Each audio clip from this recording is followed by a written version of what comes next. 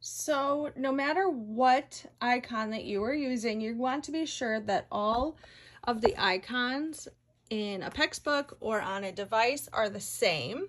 So as you can see, this turn and this turn are the same. This is another option to use for turn. So I'm going to show some different options, different visuals, um, but in your classroom, you're going to want to be sure that the icons and the symbols are the same just for consistency around the classroom, whether you're using a visual schedule, a device, or like I said, a PECS picture. So the first thing I'm going to show you are these core word of the week. There are books, there are signs, there's a little handout that you can um, hang by your door so that related service that come in and out know what word you are working on that week as well as other staff.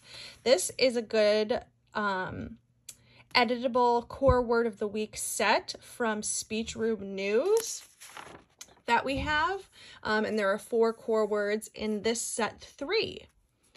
This is the Autism Helper core board. This is the bigger one. And this is the smaller one. And this is the one that I am using.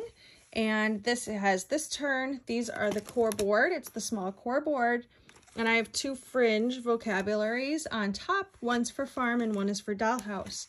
So if you are working on playing with dollhouse, you can work on it is your turn with the baby. Your turn with the baby. Um, you can also use it with just the core board.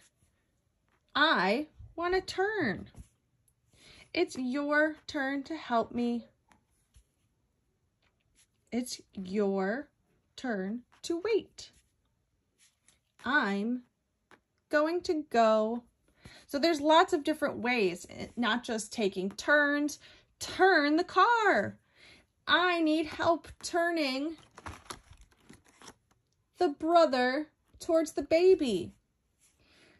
You turn the chair. Turn the chair.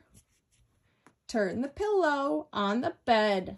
There's lots of different ways that you can use the word turn. That was just an example on using it with the dollhouse fringe, the small core board. These are some other options for core boards to hang around the classroom.